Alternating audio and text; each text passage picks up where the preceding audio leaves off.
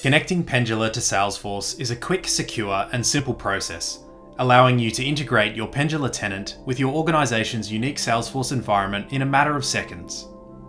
To get started, sign into your Pendula tenant, click on the avatar icon, then select Settings. Within the Settings screen, select Salesforce integration from the left-hand side. From the Salesforce instance drop-down menu, select whether you'll be connecting Pendula to a production or sandbox environment. This can be changed at any stage and allows you to revoke access and switch between environments where needed. When ready to do so, then click on Connect to Salesforce, which will open a pop-up window with a login screen for Salesforce. This is where you'll be prompted to enter the username and password of the Salesforce user you are authorizing to connect Pendula to your environment.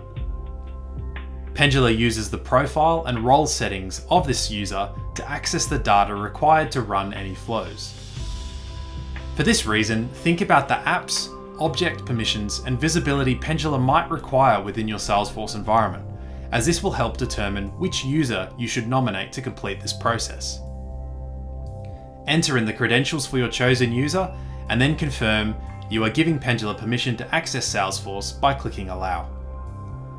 You should now see a green confirmation message, which means Pendula is now connected to your Salesforce environment. It's as easy as that. This means you're now ready to start creating related objects, which point Pendula to the relevant objects and data within Salesforce. Before building a flow, you'll need to ensure you have the relevant related object configured first. For steps on how to do this, check out our handy article on related objects within our Help Center. For more helpful information, head over to help www.pendula.com.